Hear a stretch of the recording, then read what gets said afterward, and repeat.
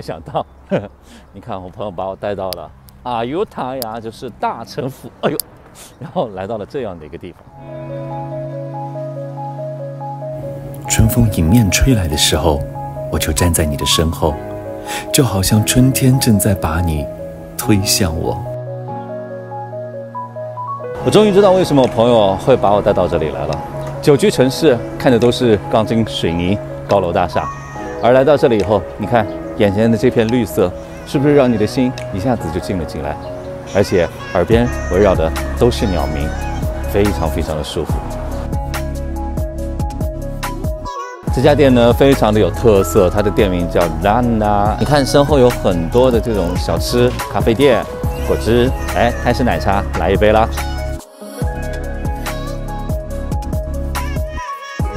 满满的把我最爱的插条，也就是泰式奶绿带上，我们去那儿坐着看风景，喝奶茶。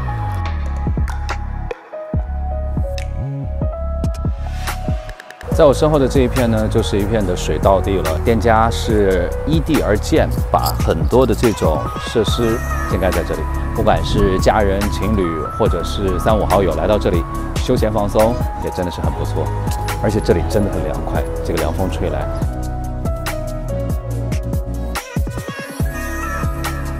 哇，你看我身后的这个池塘里面好多鱼，而且我人过来以后，他们就会习惯性的过来，应该实际上有人喂它们，所以他们都知道人过来了，可能就有食物了。闻着稻香，顺路而走，一步一步，如此的踏实。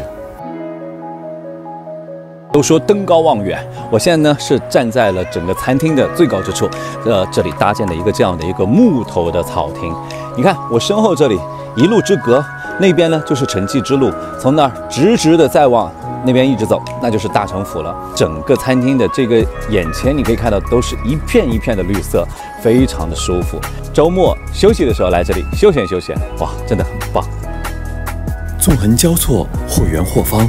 最简单的线条构架出了最特别的几何美。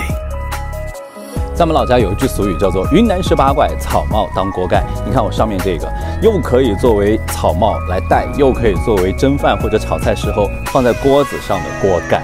所以越是民族的，就越是世界的。在这里的所有的这些装置艺术，真的非常的用心思，因为它都是用最简单的这些设施设备，然后搭建成了一个个可以作为拍照很好的景点。你看我身后的那个稻田里的那种框，它就作为了一个画框一样的。那么人在那儿，你一拍就犹如了一个天然的画框，把你框在了那里，真的非常的设计很巧妙。